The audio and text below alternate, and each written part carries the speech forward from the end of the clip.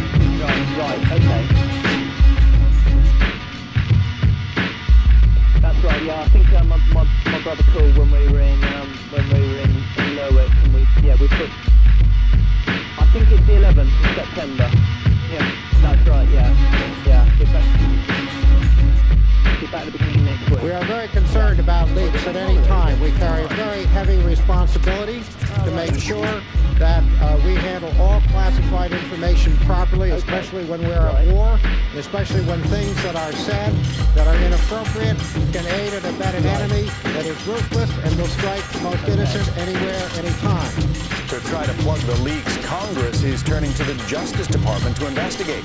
Let's get a live, now, a live report now from Molly Henneberg at the White House. Molly? Hi, John. The Bush administration hates leaks, and it appears now that one high-profile congressional committee may have one. So now members of that committee, a House and Senate group investigating intelligence failures before 9-11, under pressure from the White House, are asking the Justice Department to step in and look into the source of those leaks. Now, a member of that committee, Representative Nancy Pelosi, just spoke this morning and said she's not sure if the information came from the committee, but that's why the Justice Department needs to look into it. And this all stems from some secret intelligence information related to the National Security Agency.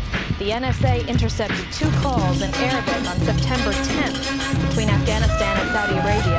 In indicating that something big was going to happen on September 11th. The messages were not translated until September 12th. But just this week, the actual text of the messages was leaked to the press. President Bush and Vice President Cheney aren't happy about it. In fact, the Vice President called the House and Senate Joint Intelligence Committee to say that such leaks compromise national security. Now, the chairman of the committee, Senator Bob Graham of Florida and Representative Porter Goss, also of Florida, have asked Attorney General John Ashcroft to conduct an inquiry into the leaks. In a sense, they're asking the Justice Department to investigate the investigators. White House officials say publicizing specific words or phrases used by our enemies likely would tip them off that we're watching and listening to them.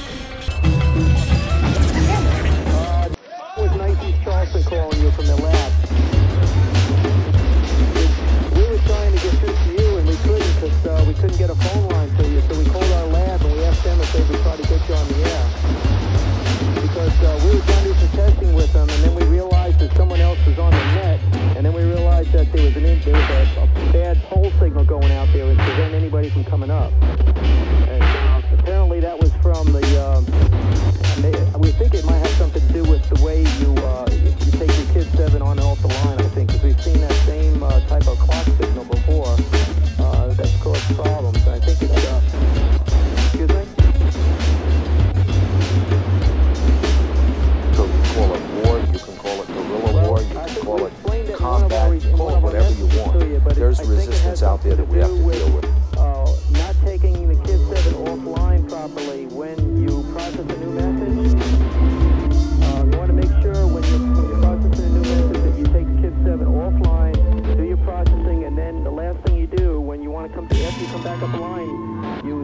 Then put your Kid 7 back up online again. Because uh, we've seen it happen several times before with other users, and we think that it might be what's causing it. Yes, normal procedure is when you're processing a message, you take Kid 7 offline by pressing that, uh, that, button. Uh, do your processing, and then when you come back on online again, on demand, you put Kid 7 back online again.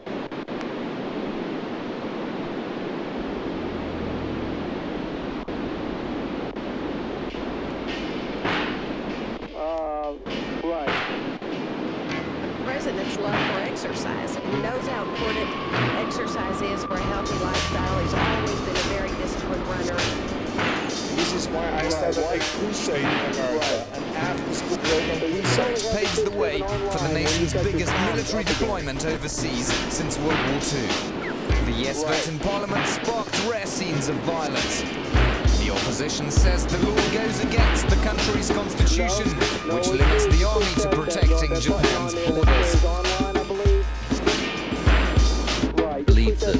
process of dialogue, if successful, can allow us to say to North Korea very, very clearly, you must give up these programs.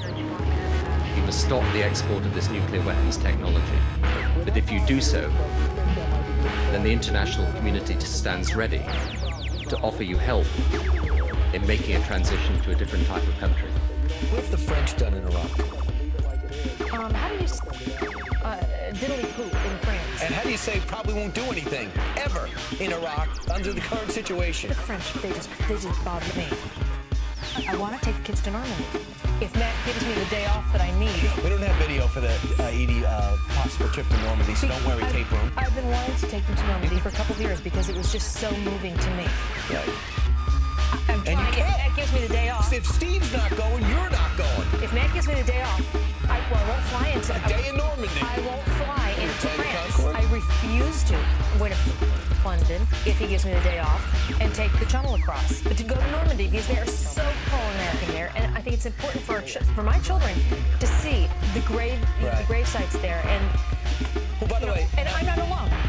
There are a ton of people. Steve canceled his trip to France, and he is just one of a ton of Americans. 80%, the French travel agents say 80% of the Americans that normally come didn't come this so year. you know what they say? They say, oh, because the dollar's weak and the Americans aren't traveling That's like not they it. used to. It's because we don't like you anymore. right now. But here's it. Jacques Chirac We and George W. Bush are We just put up with them because of the food. Absolutely. What was I going to say? The New York Times had nothing about Edie's trip to Normandy. I was reading the wrong stuff. But Clima di certitude.